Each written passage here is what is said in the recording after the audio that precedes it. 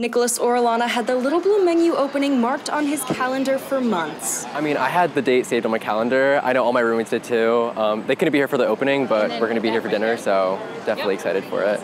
Only now, what makes it so special isn't the famous Chick fil A chicken sandwich. What you're going to find is not only all the things that you're used to with a Chick fil A, your favorite menu items, but also some new and different things that we've never done before. The fast food restaurant's changing menu is inspired by Chick fil A's founder Truett S. Cathy and reflects their customers' preferences. Chick fil A launches its first ever official standalone Little Blue menu in the country, right here in College Park, with new menu items like wings and burgers alongside Chick fil A favorites to give customers more of what they want.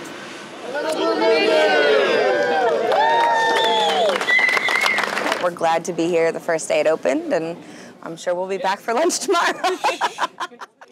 No one told Cathy to continuously critique his menu. Is it the way customers want their food today is different. He just knew an ever changing menu was exactly what this company needed. So that's really where Little Blue Menu was born. And Christopher could not be more thrilled. And I already love wings, and I trust Chick fil A as a company, so I'm like really banking on the fact that it's going to be good. Um, but ultimately, I'm still just very excited. For CNS TV, I'm Elana Mutnick.